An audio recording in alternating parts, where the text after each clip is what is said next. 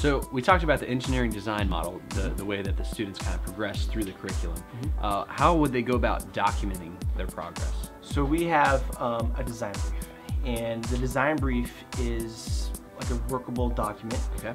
that's used in real world applications. So engineers um, are searching out a problem that a government might need or a business might need. Right. They solve that problem, and that problem is documented somehow. And that's a brief that's being handed to them saying, hey, this is how we're going to solve that problem. Right.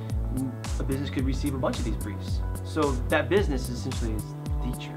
Okay. And the students are creating their briefs to hand to the teacher, here are my solution to the problem. Oh, cool. And it's documented in a nice way. So from kindergarten all the way up to high school, Mm-hmm. we have a design brief that grows upon each grade level. Okay. And it's not more work. We're, we're changing the questions up to get more out of the student. Right. Um, like we said, we're, we care more about them understanding the process rather than the final outcome, the product. Right.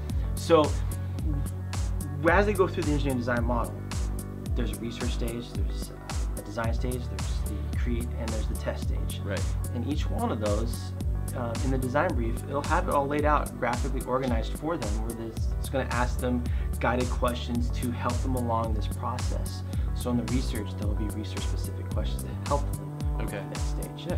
Design, create, all the way to testing your product. All right. The, the biggest thing is that it's it's helping them. It, it's almost like a portfolio.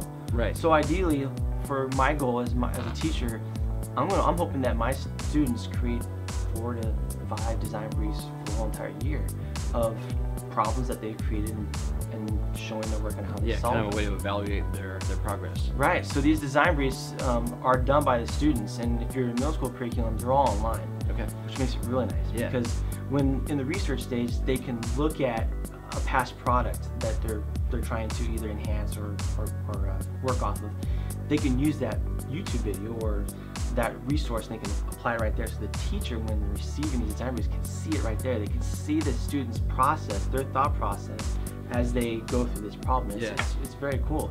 Um, the teacher simply is is like the investor boss. They're looking at it they're seeing how they do it and they can grade it based on get feedback on it. That's all in the teacher hangar so the students you know they're not going to work for a whole three four weeks on this and be done. Yeah. they'll be able to get feedback from the teacher and be able to grow upon each design. Brief Nice.